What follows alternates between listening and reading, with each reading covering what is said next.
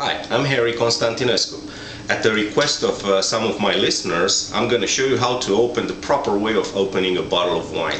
Now, there's a ton of video videos out there on YouTube, I know, uh, that show you how to open a bottle of wine. The way I do it, it's the way required by the Court of Master Sommelier, so I didn't invent it. Uh, it's a simple, simple process. I'm going to use a corkscrew, uh, as known as uh, server's corkscrew. It's a two-step corkscrew, and it has one, two, three, four, five coils. Every step that I'm going to perform has a reason. First, you present the bottle of wine to the table with the label up, and uh, hopefully um, the, the, the guest is going to accept it. Then we cut the foil right under the second glass lip of the bottle. Uh, a lot of people they cut it up here uh, above the glass lip. The reason we cut it underneath is because those foils are made out of uh, lead on a lot of wines. And uh, when you pour the wine, the wine is gonna touch the lead and irreversibly uh, is gonna be altered. We remove the foil, we put it in our pocket. All the time, make sure you keep the label you have the label facing up towards the guest. We open the corkscrew, we insert at 45 degrees right in the center of the cork and with a, with a very fast movement we put it vertically.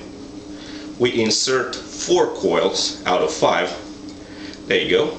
That's my fifth coil. The reason we do this is because if we go all the way down, um, it's going to uh, the corkscrew is going to come out on the other side of the cork and you don't want to end up with pieces of cork in the wine.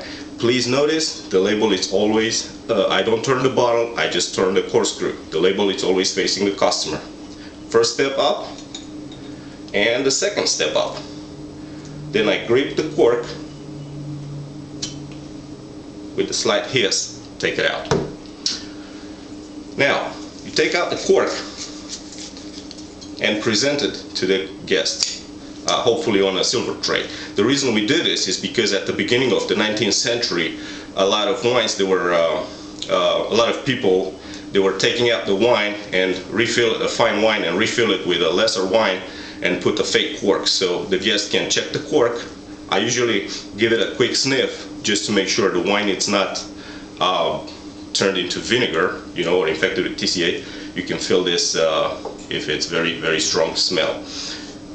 Place the cork on the table, place the corkscrew on your pocket, and with the label always facing to the customer, which is supposed to be on the wine service services performed on the right side, we pour about one ounce, a quick turn of the head, the hand, so uh, it doesn't drip on a on a table, and then we let the customer to taste the wine. Uh, after the customer accepts the wine, we go around the table clockwise. We start with the older woman, followed by the uh, younger woman, then older man, followed by the younger man. Thank you very much.